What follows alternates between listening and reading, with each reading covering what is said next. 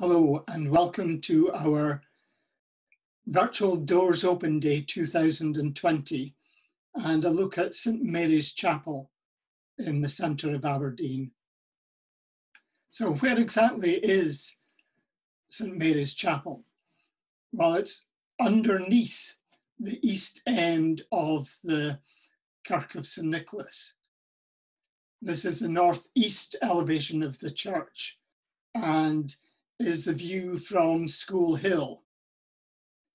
So let's have a wander down the path as we head towards the Marks and Spencer's end of the St Nicholas Centre.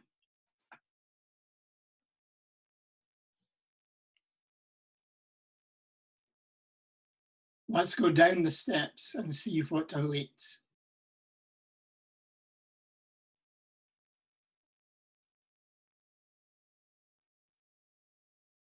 So we're now going to go through the gate in these railings and through the black door in the centre of the photograph into St Mary's Chapel.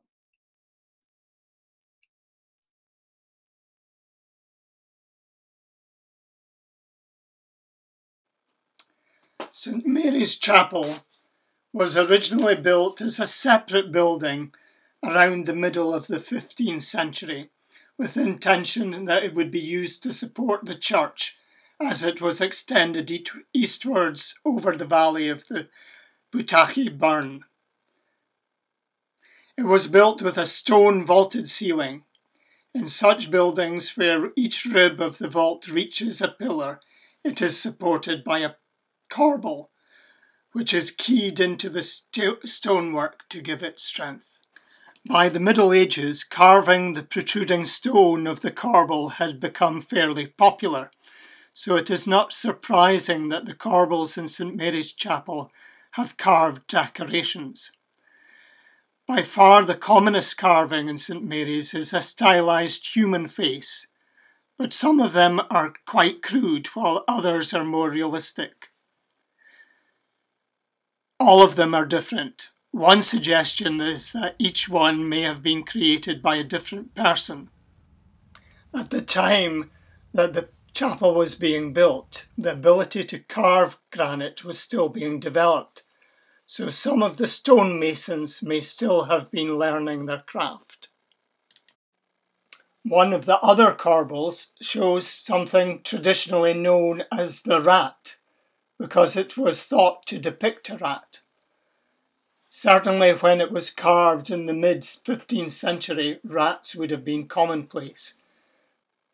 Other suggestions are that the, the corbel is depicting an otter, and some other people have suggested a monkey. But a rat seems to be the firm favourite.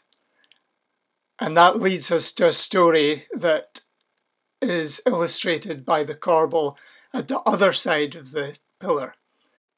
Here we see what is thought to be a figure of a church warden of the early 1400s.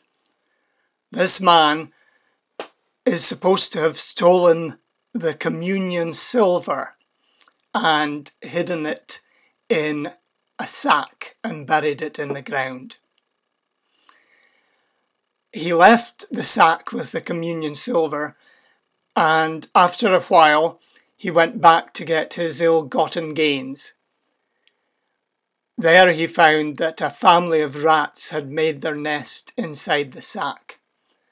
So, so the figure shown in the corbel is of the body of the church warden holding a stick. You can see the two arms on the left to middle of the image and you can see his back and his strong legs in the right hand of the image. But it's a stick he's holding to poke at the rat's nest and get rid of the rats. So we find in this 15th century chapel a warning in stone for any would-be thief. This photograph taken in the 1960s shows St Mary's Chapel as it set out for worship. Notice the the chairs with the holders for the hymn books behind the, the backrest. And you can see the small organ, which is used for musical accompaniment for services of worship within the chapel. Behind the communion table, we can see the three panels of the window, which we will now discuss in more detail. In St Mary's Chapel, there is a beautiful window which has as its centerpiece the Pieta shown in this photograph. The image of Mary, the mother of Jesus, cradling the body of her son after his body was taken down from the cross. To the left of the centerpiece, the Pieta, is another of the scenes from the early life of Jesus. This shows Mary and the infant Jesus with Simeon. And to the right of the centerpiece, we find a later event in Jesus' story. This was when he was 12 years old and the family went up to Jerusalem for the festival of the Passover. And on the journey back, Mary and Joseph found that Jesus wasn't there, and they went back to Jerusalem to find him. After three days, they found him in the temple, sitting among the teachers, listening to them and asking them questions. And all who had heard him were amazed at his understanding and his answers. Let us turn our attention now to the font found in St Mary's Chapel. This was made as part of the reordering of the chapel in 1898. The octagonal stone structure stands in the north aisle. It was erected in memory of the children of Robert Spottiswoode Facher, Spottiswoode of Muresk, and was dedicated on the 1st of October 1898. Around the top of the font are eight metal panels, four of which feature enamel symbols related to baptism. These were created by the distinguished Aberdeen enamelist James Cromar Watt. This enamel panel shows the symbol of the Holy Spirit as a dove, which came to Jesus at his baptism.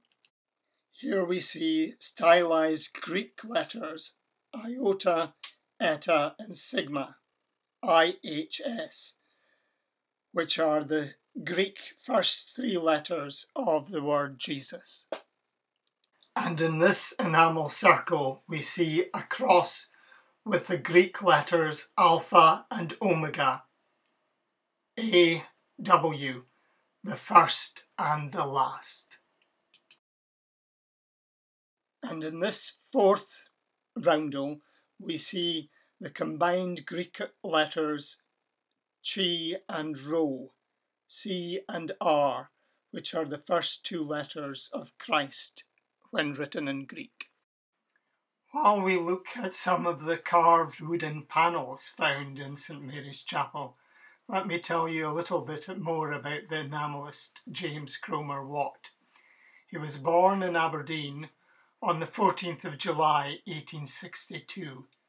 He went to Aberdeen Grammar School and then qualified as an architect.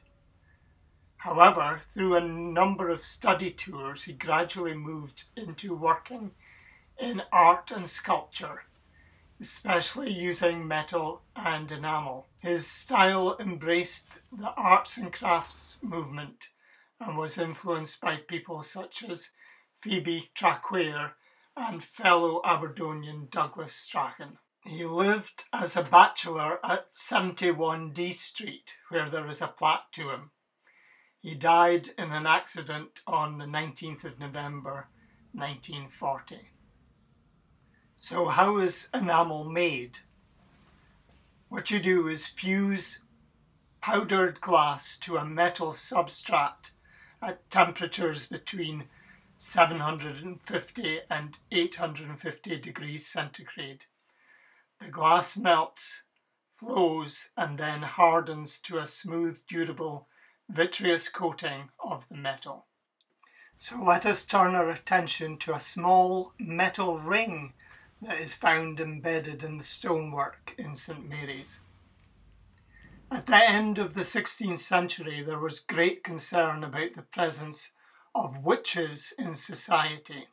Aberdeen was also caught up in this hysteria, and the first witch was arrested in 1596. John Gordon, sometimes known as Williamson, was imprisoned in the vault of St Nicholas Kirk on the charge of being a manifest and open witch.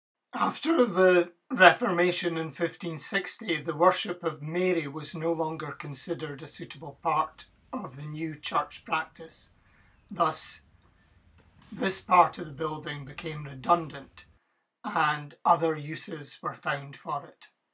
This included being a prison for witches. The records about the witches were extensive, with full details of each trial and any subsequent execution. To assist with their imprisonment, an iron ring together with appropriate shackles was purchased, fitted into the wall of St Mary's Chapel, and used to chain the witches. The cost for this is written in the City Archives. Thanks are given to Martin Hall of the City Archives of Aberdeen for some of the detailed information and the photograph of part of the records. So I hope you have enjoyed our tour around St Mary's Chapel on Virtual Doors Open Day. Of course, to maintain St Mary's Chapel, keep it wind and water tight and in good order requires lots of money. And the Open Space Trust also wishes to redevelop the east end of the Kirk of St Nicholas.